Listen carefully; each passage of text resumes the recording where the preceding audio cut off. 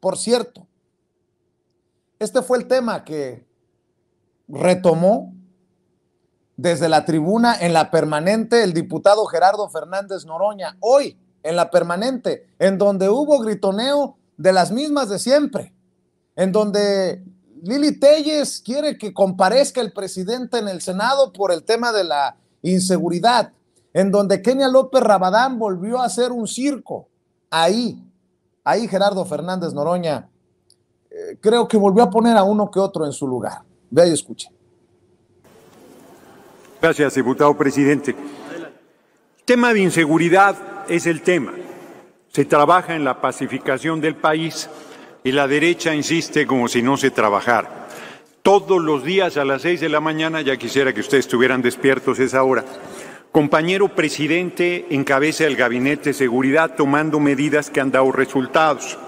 Los feminicidios han disminuido 31.2%, los secuestros 58.3%, el robo de autos 45.8%, el robo en general 29.1%, el homicidio doloso 16.3%. Se concentran en seis estados de la República los homicidios, que son del fuero común, que corresponde a las fiscalías de los estados, y que la derecha se hace como que no entiende ese tema y le carga al compañero presidente, porque además con su perversidad y su sacar de contexto las cosas, dicen que nuestra política es de abrazos y no balazos, como si la Guardia Nacional saliera con los brazos abiertos a abrazar delincuentes, a ver a quién permítame, va a dar besos. Permítame, diputado Noroña, por favor. Diputado Reginaldo, ¿con qué objeto? Que si el orador nos permite una pregunta a través de su conducto. ¿Acepta la pregunta? Sí, claro.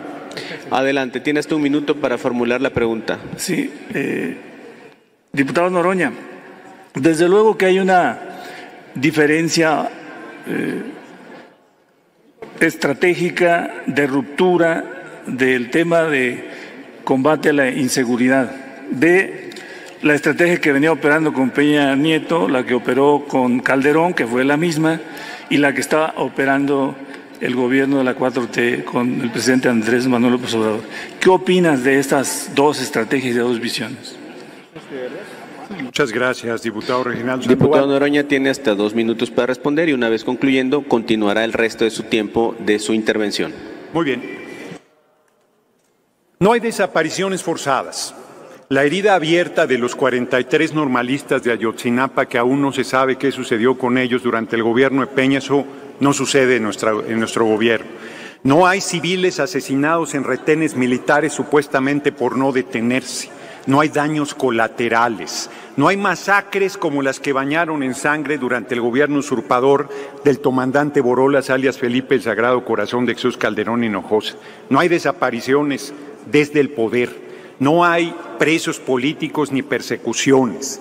Hay una estrategia que está, por un lado, atacando las causas, con programas sociales, dándoles la mano a los jóvenes, generando becas, desalentando las conductas sociales productos de la desigualdad y la pobreza.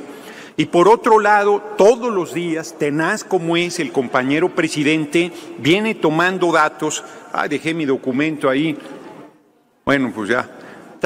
Pero todos los lunes el compañero presidente de cara a la nación da a conocer los datos en materia de seguridad, datos duros, no son especulaciones, son los porcentajes, los datos precisos, entidad por entidad, informando de manera puntual y acreditando los avances en la materia.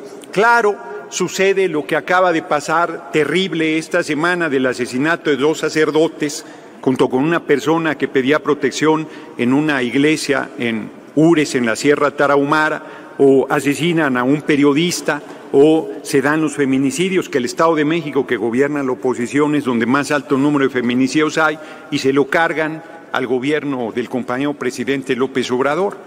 Se va de toda responsabilidad. Guanajuato es el principal estado con homicidios dolosos de los paniaguados, 1.292. Michoacán, que ahora lo gobernamos, pero que lo desgobernó Silvano Aureoles, que debería estar en la cárcel, 1.204, me sigo de frente. El Estado de México, que como ya dije, gobierna el PRI, 1.067 homicidios. Baja California, que gobernamos nosotros, 1039 y que estuvo en manos de PAN por décadas. Jalisco, 816. Sonora, que acabamos de arribar al gobierno, 732. Y Chihuahua, que no está considerado entre los seis más graves que concentran el 48%, tiene 728, apenas cuatro homicidios abajo de eh, Sonora, que también gobierna Acción Nacional. Permítame, senador, diputado Noroña. Diputado Atanasio, ¿con qué objeto? Gracias, señor presidente. Preguntarle al orador, al diputado Gerardo Fernández Noroña, si es tan amable de aceptar una pregunta. ¿Acepta la pregunta? Con mucho gusto. No, adelante, un minuto para formular la pregunta. Claro. Señor diputado, ¿qué opina de que el secretario de Seguridad Pública, que fue en el sexenio de Felipe Calderón, hizo que México fuera más violento al aliarse con el cártel de Sinaloa. Sea tan amable, por favor, de ser tan amable de contestar la pregunta. Nuevamente dos minutos para responder y continuará corriendo el reloj de su intervención original al final de esos dos minutos. Muchas gracias. No solo Genaro García Luna, toda la cúpula de la Secretaría de Seguridad Pública, los subsecretarios Cárdenas Palomino, y otros que ahora no recuerdo, todos están confesos de vínculos con el narco y con el grupo del Chapo Guzmán. Pero además, siendo yo diputado de la sexagésima primera legislatura, se lo dije de frente a García Luna, eres un criminal peligroso, estás vinculado al Chapo, vas a acabar en la cárcel, no se debe permitir, crees que vas a ser impune por el poder que tienes ahora, acabarás en la cárcel. Que eso quedó absolutamente acreditado y los paneaguados se hacen como que no oyen. Calderón que acaba de comunicarse que desde la cárcel estaba planeando el asesinato y amenazas a periodistas y los medios en general nada dicen y los paneaguados se mantienen como las momias de Guanajuato, del estado que gobierna. Entonces hay mucha hipocresía con el tema porque si usa de manera dolosa, bueno, se acaba de descubrir que traían toda una estrategia la oposición para acusar al compañero presidente de vínculos con el narco, que es el lofer famoso, el golpe de Estado en nombre de la ley. Como no pueden acusarlo de corrupto porque no lo es, ahora intentan ponerle el San Benito de vínculos con el narco cuando nosotros combatimos a todos los grupos criminales por igual. No hay concesión a ninguno, hay un proceso permanente tenaz, firme de nuestro gobierno, hay una diferencia absoluta y estamos en pos de que se pacifique el país. Claro, la gente con todas estas situaciones, todos quisiéramos que ya se resolviera. Bueno, aquí vinieron a tribuna a decir que no asesinen a nadie, como si la humanidad no estuviera su historia plagada de asesinatos, como si eso fuera a desaparecer con algún gobierno. Una cosa es bajar los niveles de criminalidad y de delincuencia. Y otra cosa es desaparecerlos. Quien plantee que estos van a desaparecer es una demagogia y un absurdo ridículo.